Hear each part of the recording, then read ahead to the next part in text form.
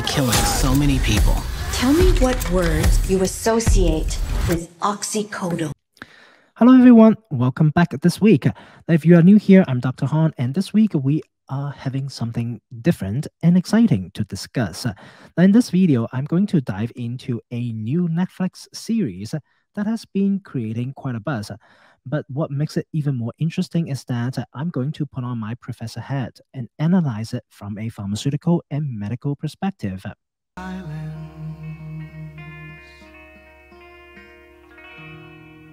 The Netflix series that we are going to explore today is called Painkiller.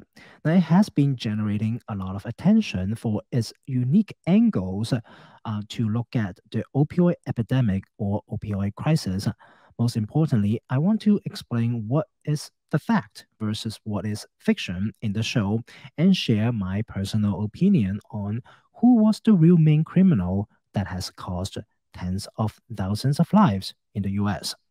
Now, now what caught my attention uh, as a pharmacology professor and a pharmacist is that the pain medicine OxyContin featured in the series. Uh, from what I've seen, they've done a great job in portraying all the suffering patients went through with OxyContin within the six episodes. Now, here I'm not going to dissect each episode, but I'm going to look at it in a global scale.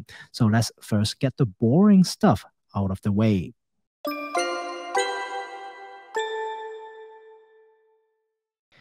Uh, yes, OxyContin is chemically related to heroin.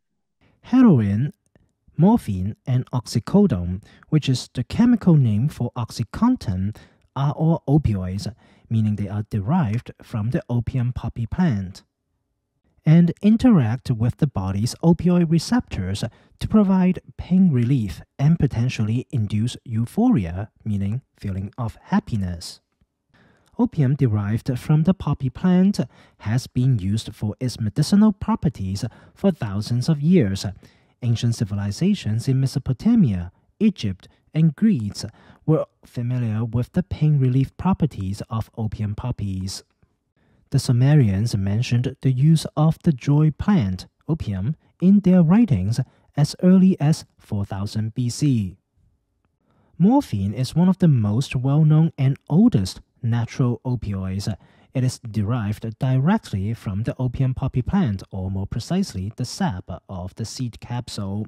The morphine is often used for severe pain relief. And heroin is a semi synthetic opioid that is derived from morphine. It is created by modifying morphine through chemical processes and heroin is more lipophilic, meaning fat soluble, than morphine, which allows it to cross the blood brain barrier more rapidly, leading to a quicker onset of effects, including a powerful euphoria. Now, however, this also makes it more addictive and increases its potential for abuse. Heroin is not used for medical purposes in most countries due to its highly addictive nature and strong potential for harm. Now, oxycodone is a synthetic opioid that is designed to be active when it's taken by mouth and have pain relief properties similar to morphine. It is often used for moderate to severe pain management, such as after surgery or in cases of chronic pain. Oxycodone binds to the same opioid receptors in the brain and the spinal cord as morphine and heroin, producing analgesic or pain relief effects.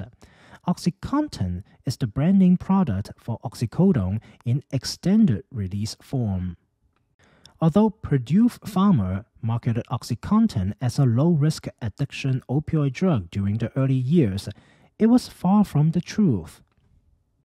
Individuals misuse OxyContin by crushing, snorting, or injecting it to bypass the time release mechanism and experience a rapid and intense opioid effect now, this misuse can lead to a more intense euphoria, increasing the potential for abuse and addiction. Now, we now know OxyContin is an effective but dangerous painkiller.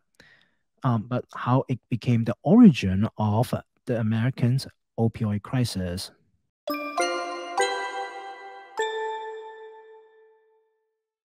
Purdue Pharma marketed OxyContin as a breakthrough in pain management, emphasizing its long lasting effect. The company claimed that the extended release formulation made the drug less likely to be abused, but there was no evidence supporting that specific claim. They also adopted aggressive marketing strategies to promote OxyContin. The sales representatives reportedly downplayed the drug's abuse potential and addiction risk during their interactions with healthcare providers. The company's sales representatives were specifically trained to target doctors, including primary care physicians, and encouraged them to prescribe OxyContin for a wider range of pain conditions.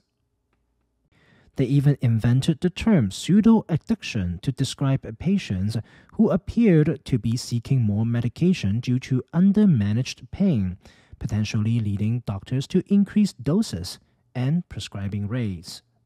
Now, using um, like to market a highly addictive drug certainly softens the danger of the drug, and they were quite successful in drafting a seemingly harmless image. Now, we all know that was only a part of Purdue Pharma's, um, Purdue Pharma's deceptive marketing. I got my life back was the title featured in Purdue's promotional video in the late 1990s. Was it true or not? Now, in the promotional video, they featured a chart that showed OxyContin appearing to stay at steady levels in the blood for 12 hours. But that was just another perfect example of deceptive marketing, only at a much higher level. The chart used in the video was a logarithmic scale, not a linear scale that is routinely used to present this kind of data regular consumers certainly would not spot the differences. It wasn't even easy for medical doctors and other non pharmaceutical scientists to spot that differences. Simply put, if that graph were to be plotted on a linear scale, the OxyContin level in the blood would drop much faster before the 12 hour period ended. Yes, um, Curtis Wright was a real person. Now, is he good or not? I'll let you to judge. Curtis Wright, who holds a title of MD and PhD, served as the sole FDA examiner during the review of OxyContin's new drug application or NDA in the mid 1990s. As a medical officer, he was responsible for evaluating the safety and efficacy data of the drug to determine whether it should be approved for marketing. Purdue presented OxyContin's delayed absorption and claimed it was able to reduce abuse liability, but they presented no scientific data to back that up. Simply put, delayed absorption does not equal to reduce abuse liability. Dr. Wright apparently did not question that claim enough and put the stamp of OxyContin's approval. Now, if the story had ended there, we could say Dr. Wright was a lousy medical officer. But Dr. Wright left the FDA a year after OxyContin's approval and went to work for a pharmaceutical company called Adolor. Uh, two years later, in 1998, he joined Purdue Pharma as the executive director of medical research for the company. According to the book Empire of Pain by Patrick Radden Keefe, claimed that um, Dr. Wright received a first year salary package of 400,000 at Purdue Pharma. Now, that was a perfect example of the long history of the FDA's revolving door in the pharmaceutical industry that I previously talked about. Now, despite Dr. Wright denying having any conversation about joining Purdue during the OxyContin review process, only he and the company know what truly happened behind the door. Now, sadly, the revolving door was not the only part. Under current FDA law, drug makers can promote only a product that has been proven safe and effective, and the product's benefits must also outweigh the risk. Now, but there have been no long term studies to show opioids are safe and effective for what Purdue was marketing. And if FDA had done its job properly, it would have told Purdue that they should only promote opioids for palliative care, meaning serious illnesses such as cancer pain, and should not allow sales reps to promote OxyContin to primary care providers and doctors who are not specialized in palliative care.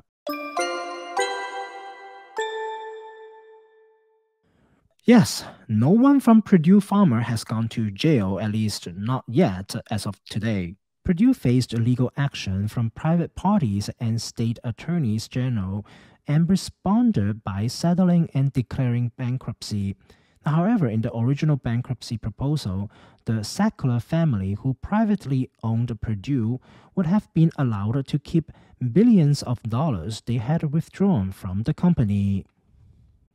A different judge later in 2021 ruled that the previous settlement should not proceed because it released the Sackler family from liability, and the family had withdrawn over $10 billion from Purdue as the opioid epidemic was worsening and deposited in offshore accounts and trusts, and the litigation is ongoing.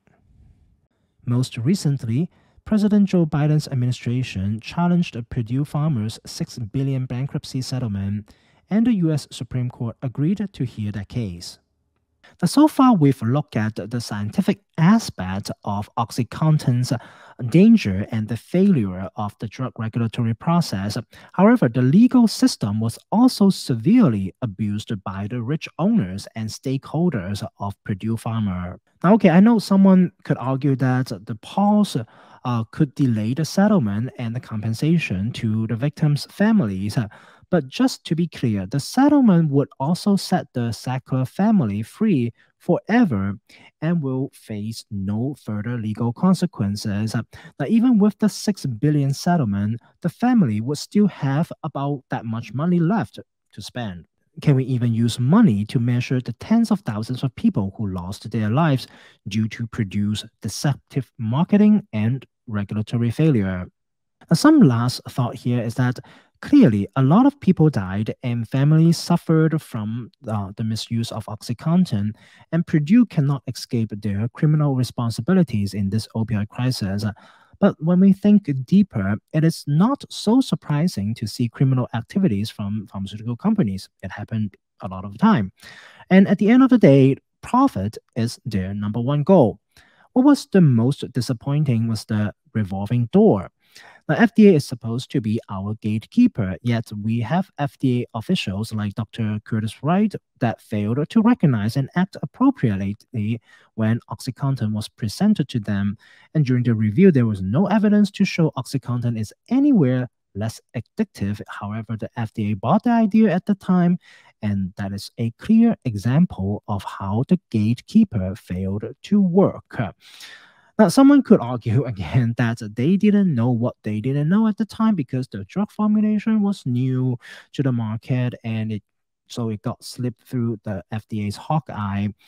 Um, but think about these days. What happened these days? Now we have drugs that may not be as effective as they claimed in certain populations because there were no clinical trials in particular populations.